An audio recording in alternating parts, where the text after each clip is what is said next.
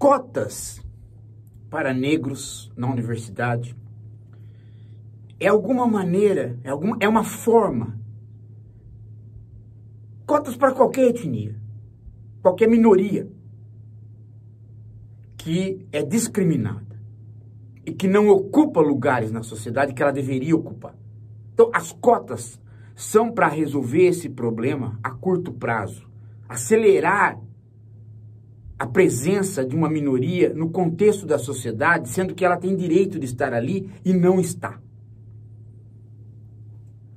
É esse o objetivo das cotas. Não tem outro. Não é resgate histórico. Porque se fosse resgate histórico, seria uma ofensa. Ninguém passa um cheque para você, dando o direito de você entrar na universidade por conta do crime da escravidão. A escravidão é um crime tão grande que não tem indenização para ela. Então não é resgate histórico. Segundo, não é desenvolvimento individual. Quando você quer desenvolver um país, os indivíduos de um país, você melhora a educação como um todo. A escola pública para todos. O problema é que nós precisamos acelerar o fim do preconceito.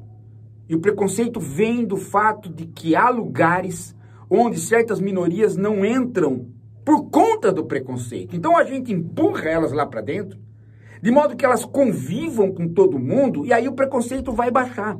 Essa é a ideia.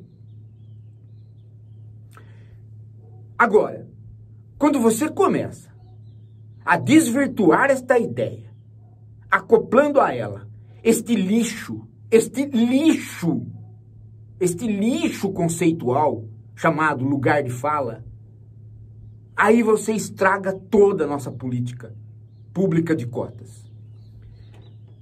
Quando inventaram esse negócio de lugar de fala, e quando esse negócio começou a desvirtuar para a ideia de que só eu posso ocupar tal lugar, só eu posso falar, só eu tenho direito, quando começou a se esquecer de que o afro-brasileiro é afro-hífen brasileiro, quando se começou a se esquecer que o brasileiro é universal e o afro é minoria, quando começou a se inverter isso, perdeu-se a dialética do conceito de minoria.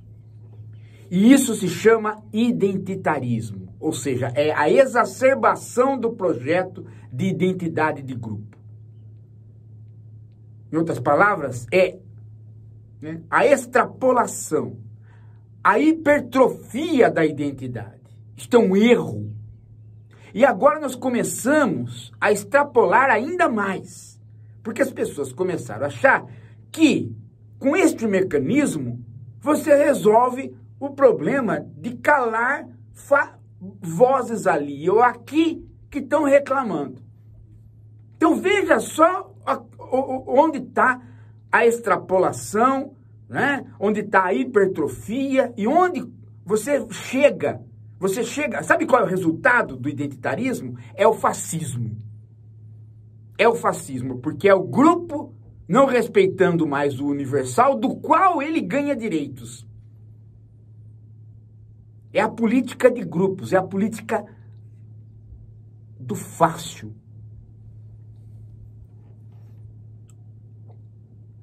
E olha como ela se volta contra as minorias. Olha como essa política se volta contra as minorias. O exemplo é este aí, ó. Masterchef um lixo que eu não assisto, né? Mas de vez em quando tive que assistir, porque é casado com a Fran, a Fran adorava ver comida. Né? Eu, eu vivo. Né? Eu não vivo para comer. Eu como para viver. Então não tem ah, o Masterchef para mim. Competição de cozinha. Tô nem aí com isso aí. Mas tem gente que gosta. E aí a Bandeirantes tem um programa. Masterchef. São três estrangeiros que avaliam comidas, um inclusive até com sotaque. Então são três europeus que avaliam comida ali, né? Eles ficam dando durinha no, no, nos chefes ali. E deram uma durinha numa negra que reclamou por racismo, foi para os sites racistas, para os sites antirracistas, para os sites movimento negro e tal e tal. Aí a Bandeirantes né? Chamou lá um identitarista para resolver o problema. O identitarista deu, né? Deve ter lido algum livro aí da Djanila Ribeiro, Djamila, Djanila ou Djam, Djam, Bom, é aquela moça. Bom, aí o cara solucionou o problema com o conceito de lugar de fala. Né? Então, vamos É, a solução é simples. Basta dividir. Basta não pôr mais negro junto com branco e não tem mais racismo. Solucionou o problema. Vamos fazer um programa Masterchef só com negros. Só que virou uma caricatura, né? Três europeus brancos experimentando comida afro-brasileira, ou seja, os negros de novo na cozinha, servindo os europeus brancos que vão avaliar se o quitute negro merece ir pro pelourinho ou não. É, virou isso, virou uma caricatura. Por quê? Porque o identitarismo é uma caricatura. Ele é a merda.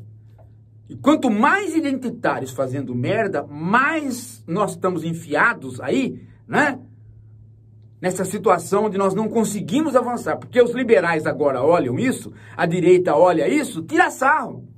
Faz gozação, faz caricatura e toda a discussão sobre minorias vai por água abaixo por conta da burrice dos identitários. É isso. Não dá, né? Gente, hoje é sábado, hoje à noite tem lançamento do nosso Narrativas Contemporâneas em e-book e em papel, livro comum. Já está na Amazon para você comprar. Agora, no lançamento, hoje à noite, nove da noite, você pode receber o livro autografado. Se você for um dos 100 primeiros que, que compra o livro, você já já recebe, tá? A gente aguarda você lá, tá bom? Você viu a live que eu fiz com a Fatorelli?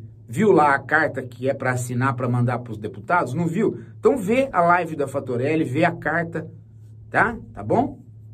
A carta está num, num site chamado é, paulogiraldelli.com.